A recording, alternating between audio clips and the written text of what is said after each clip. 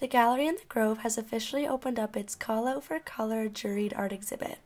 The theme this year was focusing on the power of color through contemporary and abstract art pieces.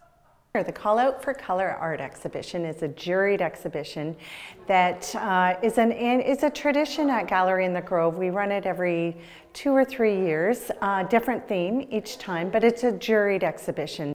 Located in the center of Sarnia, this gallery is home to pieces created by local artists in and around the region, plus throughout southwestern Ontario. It is open to the public Monday through Saturday and constantly has new pieces and exhibits circling through its four walls.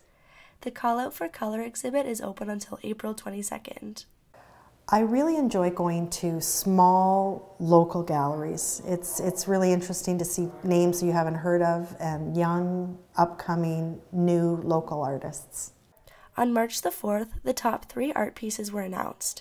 The artists shared their creative techniques and inspiration behind their award winning pieces and collected their achievements. Samantha Picard went home with the first place award for her Pollination for the Nation Station piece the, the goal of creating something is for people to feel something, have a conversation about it, be attracted to it. You want a response. And so I feel validated in the time that I put into this and that the response is genuine, that people like it. This art exhibit had over 200 entries. Narrowing it down to 48 accepted pieces, the gallery is truly filled with love, talent, and color. After being surrounded by all this art, I was inspired to create some art of my own. This is my recreation of Samantha's Pollination for the Nation Station painting, but maybe I should leave the painting to her.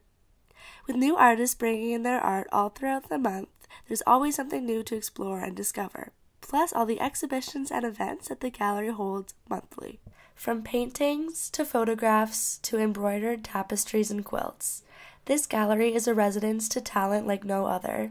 These artists, who take pride in their work and bask in surrounding inspiration, share a little part of them with the community. All of the art displayed in the Call Out for Color exhibition is up for sale, with pieces ranging from $300 to $3,000. This tiny gallery really does bring people together and celebrate the talents within the community. Be sure to check out some of the other art submissions either in the gallery or on the gallery's Instagram. For more information, you can visit galleryinthegrove.com. For Keeping Up with the Condors, I'm Emma Sexton.